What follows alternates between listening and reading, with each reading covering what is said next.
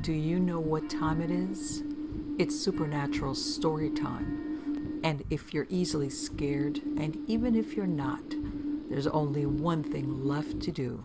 Just turn off the lights, because these are stories that you listen to only in the dark. Southern Hauntings Uncle I.H. decided to build a house for his nephew. The plans were drawn, and soon some itinerant carpenters and painters came along to help in the construction and painting of the house. The nephew, Mr. S., lived in a log cabin just back of the construction site. An agreement was reached whereby the itinerant workers could sleep in the new building and board with the S family. Mr. S., his wife, and small daughter lived in the cabin. One day, as the house neared completion, one of the carpenters walked in and told Mr. S that he was leaving the job because someone had put a hex on the place and he could not sleep at night for all the noise going on in the new house. The doors opened and closed all night. There was a tapping sound in the walls. Strange things were happening in the hallway. Mr. S assured him that in all probability some of the neighborhood boys were tic-tacking the house. He would therefore clean up the debris that very day and would in all probability solve the mystery. True to his promise, he cleaned the house and surrounding premises that day, but he failed to find the tic-tacking evidence. Mr. S decided that he and his wife and child could move in the new structure and all this foolishness would stop. Unfortunately, this did not give the carpenter peace of mind, nor did it help the S family. At night, they would see a casket roll up to the side of their bed they would light a lamp and there would be nothing there. As they would try to settle down again, their bed would rise from the floor. The house moaned and creaked all night long. The wagon belonging to the little girl raced up and down the center hallway. The doors opened and closed all night. Mr. S. watched the workmen closely and came to the conclusion that the painter was the offending person with devilish powers. He confronted him with this information. And the painter acknowledged that he was possessed with powers from the devil, and every night before he went to sleep, he released these evil spirits to do their work. One day, Mr. S had to go to town, and Mrs. S prepared dinner as was her custom and called the workmen in to eat. The painter in question asked her how she would like to see her kitchen table start walking. She was frightened, but rather sternly replied that if he wanted to keep eating there, he had better leave his tricks away from the kitchen. The house was eventually completed, and as the painter took his departure, he was warned that he had better take his evil spirits away with him. He departed, but it was noted that doors in the house closed and latched. They might be, without warning, would come open and be standing ajar. This house was eventually partially burned, and in its place a new house was constructed. The only part of the old building put in the new was the front door. The new front door could be latched, firmly closed, but with no warning would come open. Mrs. B and her family all believe this is the ghost of the devil possessed painter still doing his work. Another story. Well, anyway, that first summer we were there, we would all be out in the field working, and Mama would be there at the house, and her first grandchild, Leontine, would be there with her, and Mama said the first time she noticed anything she thought she heard a bunch of people coming up out front talking, and she wondered who could that be because she knew it wasn't time for us to come from the field for dinner. And she went out, looked everywhere, and didn't see a soul. Well, that's the first thing she told us when we came to the house for dinner. That she heard noises and she thought it was somebody coming out front. Well, she didn't see anything. So it went like that, and one Saturday night, Louis and Beulah came to stay all night with us, and that left Mildred and me to sleep upstairs. And after the lights were out, well, we were lying there in bed, and all of a sudden my cover began to move off of me and I told her, Stop pulling all the cover. And she said, Sister, I'm not pulling the cover. and I knew she wasn't, because she was perfectly still. Well, next thing we knew, we were rolling downstairs. It scared us. Well, anyway, Louis was there from the time we moved in until the next October he married. And he slept up there one night, and he was the first one that told us the cover slid off him. And we knew very well there wasn't anybody up there. Well, we didn't go back up there to sleep anymore. So that went on. Oh, I don't know, a long time. We didn't go back up there to sleep anymore. Papa tried to get us to, but we told him he could if he wanted to, but we wouldn't. So then, that fall, we started to school, and the school building was close, where we walked, and in the evenings there was a little pond.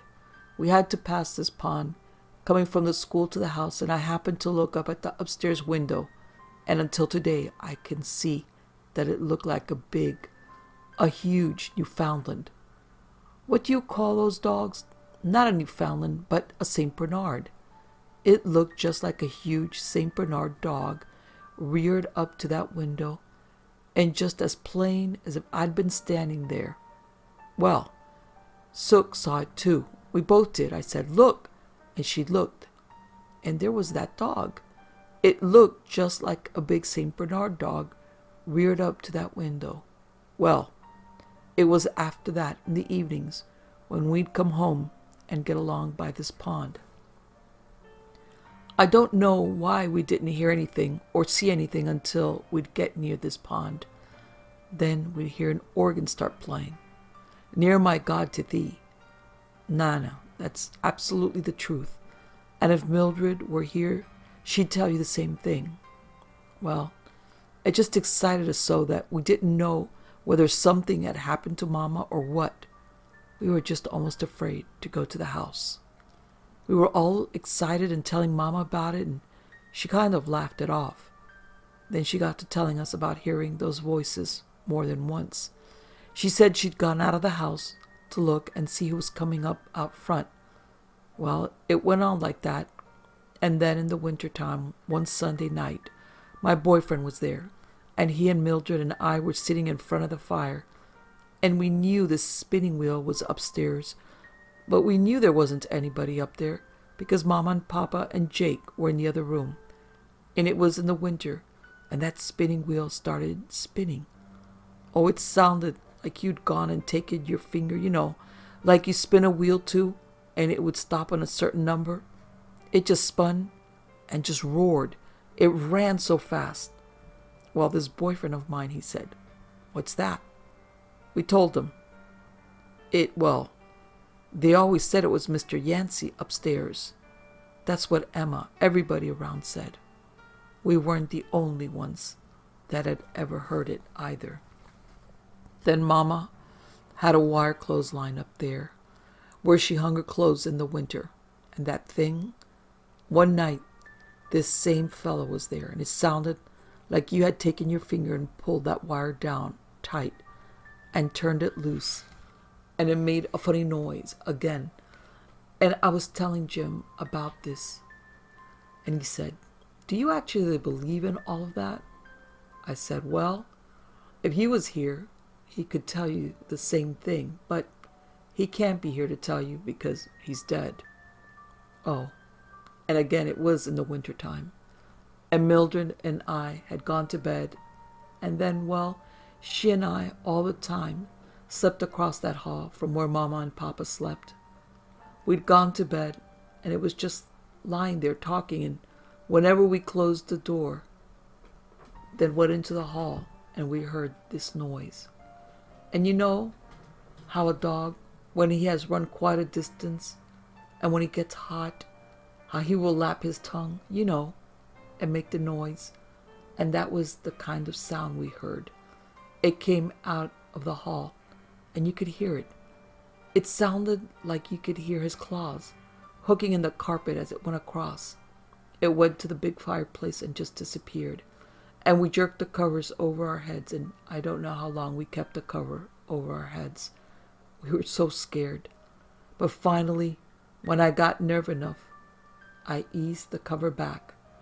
And I called for Papa, and he told me what we'd heard, and I said, Light the lamp and bring it in here. Well, he or Mama one lighted the lamp, but they didn't come across that hall. We rolled out of that bed and went across the hall, and we didn't go back in there that night either. And that's the only time we ever heard that. But we kidded Mama and Pop about being afraid. They were scared too. And I don't know whether they had heard noises in the house either. But we lived there three years and we heard things once in a great while. But he always said it was the rats running across the floor upstairs. Granddaddy's house. When my granddaddy bought that place down here, why, they moved over from the other side of the mountain, and so they had a lot of stuff to move. They brought over a load or two of stuff, two wagonfuls, and brought some of the women over, and they stayed all night, while the menfolk went back across the mountain to get some more furniture and stuff. Well, there was three women, I think. They were kind of brave, so they brought lard and all kind of groceries and stuff, you know, to have, and that's what they brought with the first load. So they had a great big dog they brought along with them for these women to keep with them if anything bothered them. They said they had a big jar, a big stone jar, and they put lard in it, and they put it in the big press in the back of the room. They put this lard and some meat and stuff in there. Well, the women stayed there that night, and the men folk went on back over the mountain to get another load. So they said, way in the night, when they heard something fall in the dining room, about near the old closet. It was that press where they'd put the lard and the other stuff in. One of the women said to the other one, Lord have mercy, let's get up and go in there. The other one said, That dog, I bet done knocked that big jar of lard over. And they got up and lit the lamp and went in there. And the door was fastened to the press. And their lard was back in that part of the hall where they used to keep the saddle under the stair steps. And I heard my granddaddy, after he lived down there, said they could hear him go out there every night and hear something dragging, you know, taking the saddle out and hearing the belly cinch and the buckle part being dragged across the floor when they wanted out the door and down the steps. Somebody had the saddle in their arm and the buckle on the belly banging over, dragging on the floor. They said they heard that, and they went in there to see if it was somebody that had gotten the saddle or was trying to leave. Some of the boys, they always be out riding, trying to catch a horse after night. Then the saddle was back in there, just like they had left it before.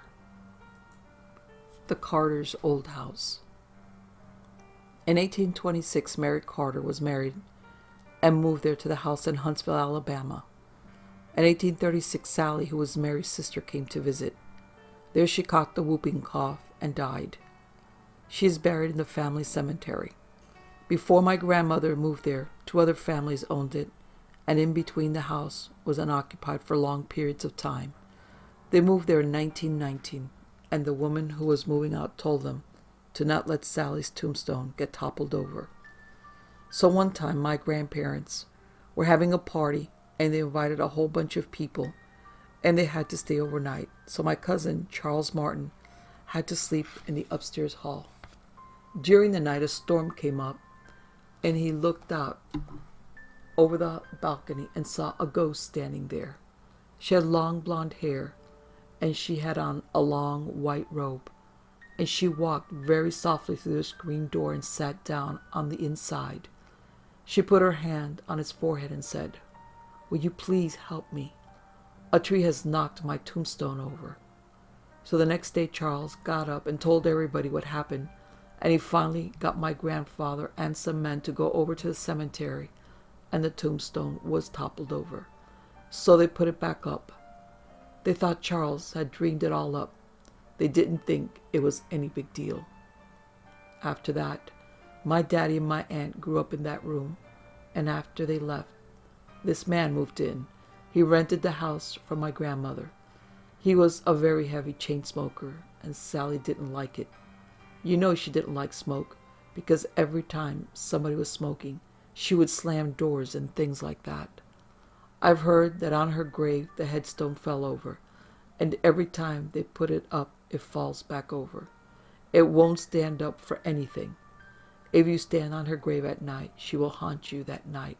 She will follow you home. This friend of mine heard that she was in love with this guy, and he didn't love her back. So she jumped off that balcony into a rose bush. You hear all kinds of stories, and they just get bigger and bigger. That really didn't happen. Or did it? The Haunted House in San Elizario. There is this house in San Elizario that's haunted. But he's a funny ghost that haunts it. He only likes women. If a girl goes into the house, he pinches her. The house belongs to some people named Lujan. I think they were related to me. Anyway, they all died. Some people moved into the house. The ghost kept bothering the wife, pinching her. They didn't like it, so they moved out. Some more people moved in. The ghost pinched this wife too. When they went to bed, she could feel the ghost feeling her and rubbing his hands on her legs. But they got used to the ghost. Why don't you go see for yourself? If you dare. Mrs. Graves' farmhouse. One evening at a little farm out west of Warren, Sam Graves sat down at his kitchen table to have supper. For reasons unknown, he and his wife had been having trouble. Before Sam had a chance to help his plate, his wife, who had prepared the nice supper, walked out behind him with a rifle and shot him point blank in the upper part of his back. Stunned, Sam slumped over the table, filling the plate before him with blood. Then he rose to his feet, staggered across the room out the front door, and sat down on the front porch steps. His wife dropped the single shot rifle and grabbed up the butcher knife from the table. She ran out to where her bleeding and stunned husband sat and started stabbing him repeatedly with a knife. Once again, Sam got up and half stumbled, half crawled out to the orchard and died. This happened in 1922. Mrs. Graves had been apprehended and executed.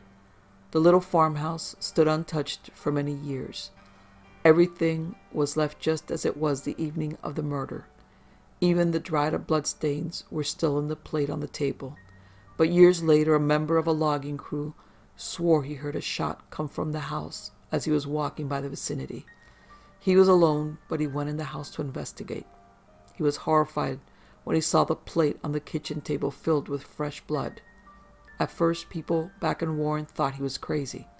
The logger took some men back out to the haunted farm, but all they found was a plate of dried blood, looking like it had for years. But people changed their minds when they realized it had been exactly ten years to the day since Sam Graves had been murdered.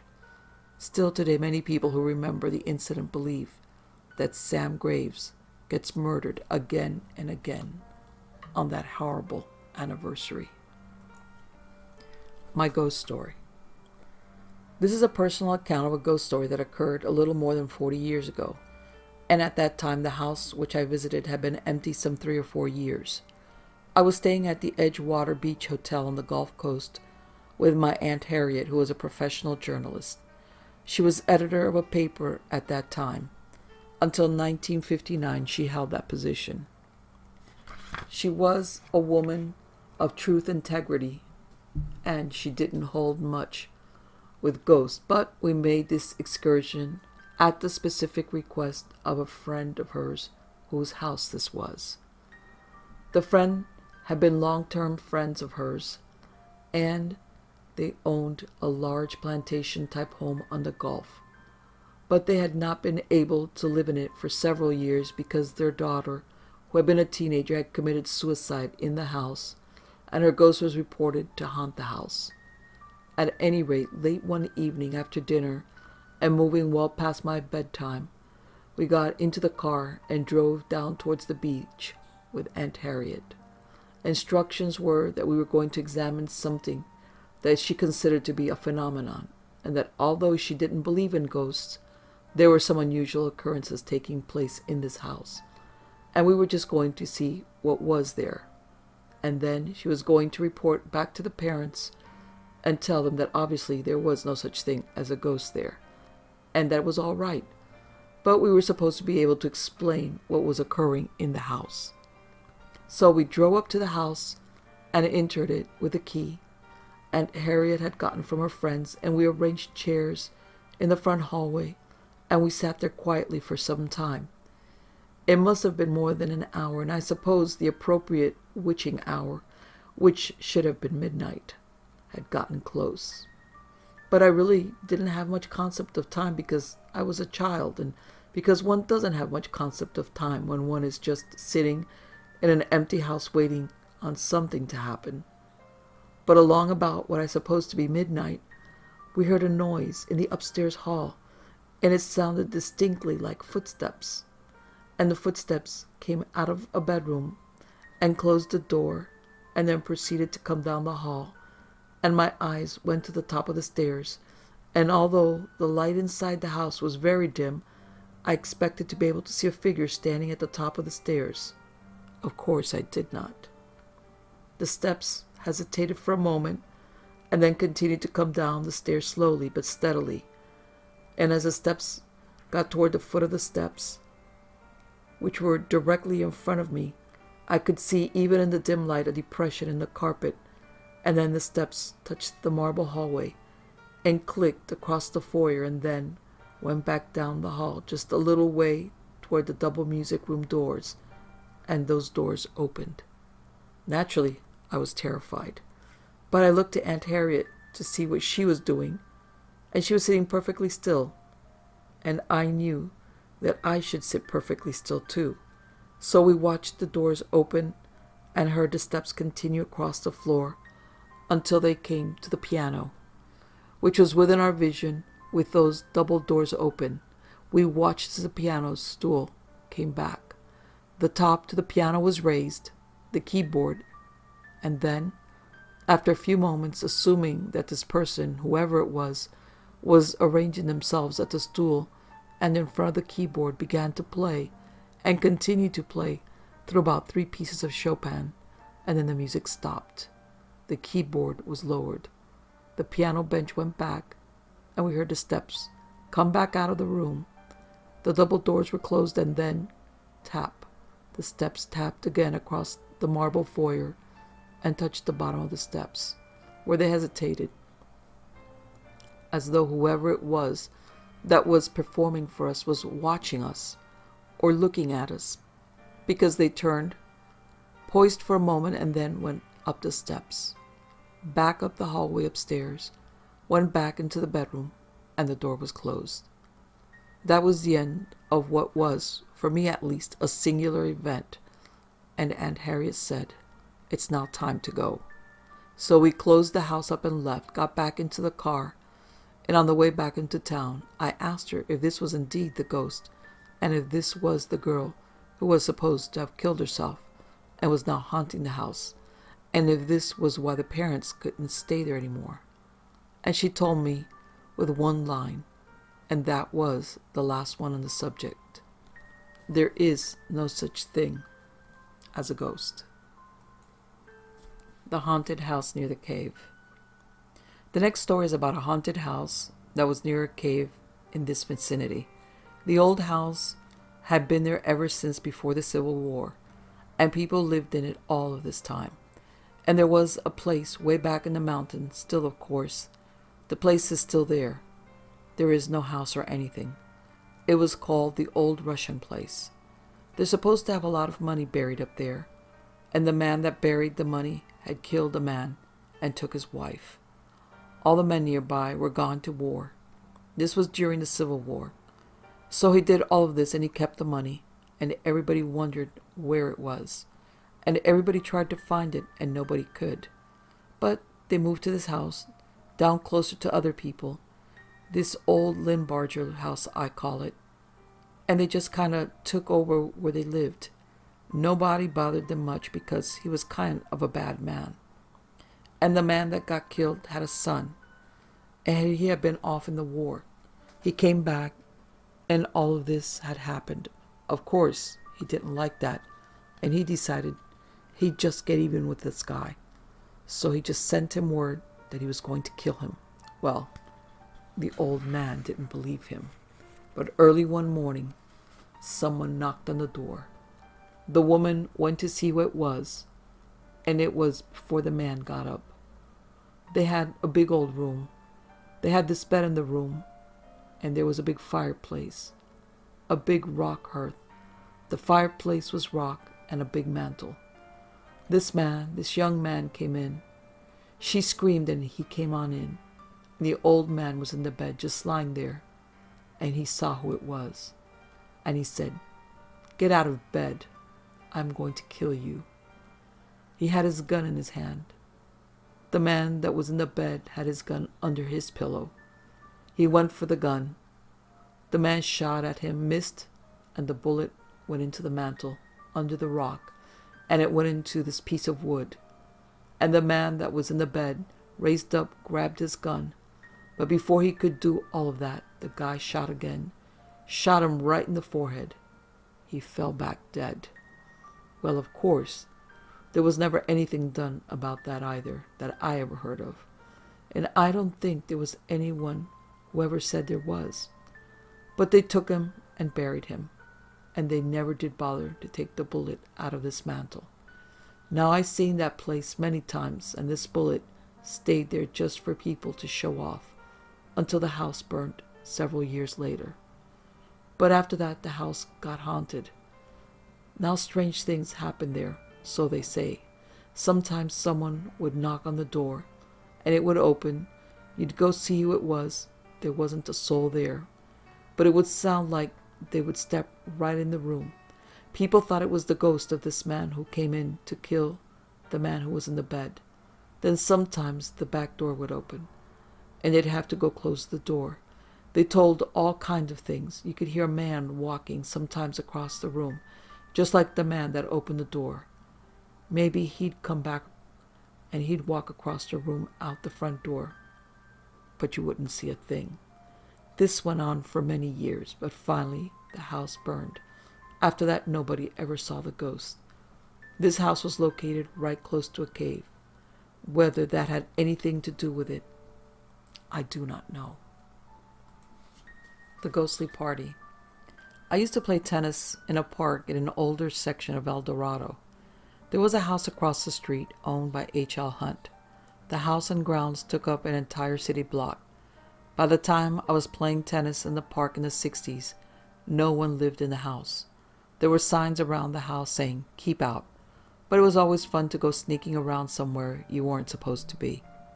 I think any old house left empty for a number of years assumes a story or legend. Someone will go in and hear noises, and some kind of a legend will grow out of it. This is the way legends are made. I don't think the legend things you hear are true. There might be some small things of truth in it, but it's blown away out of proportion. Anyway, the story about this house was something like a party going on at the house. Hunt's girlfriend was there, and she fell down the stairs and broke her neck. When you go in the house, you hear these stories, and people think it's Hunt's girlfriend coming back looking for him. The house was torn down several years ago, so I guess no one will ever know if it was indeed Hunt's girlfriend haunting the place. Another story. My mom and dad used to live in Paragould, Mother says it was real weird.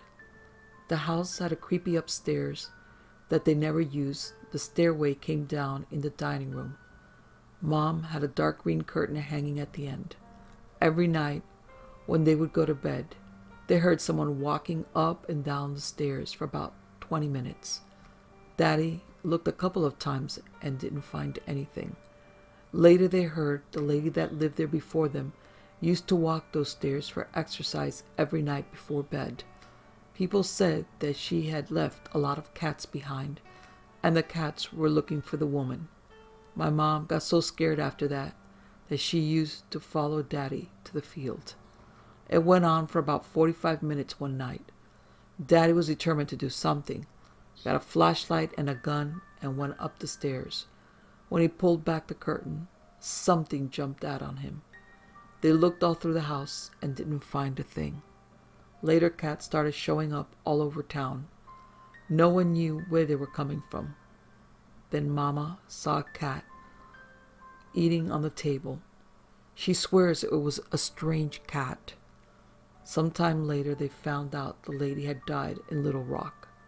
The cats were searching for her spirit. My mother really believes that. The last story. My parents lived in a haunted house right after they were married. A man froze to death in the house about four or five months before they moved there. They said when it started turning cold that people began to talk. Well, the first night it snowed, they got in a disagreement about hogging the cover.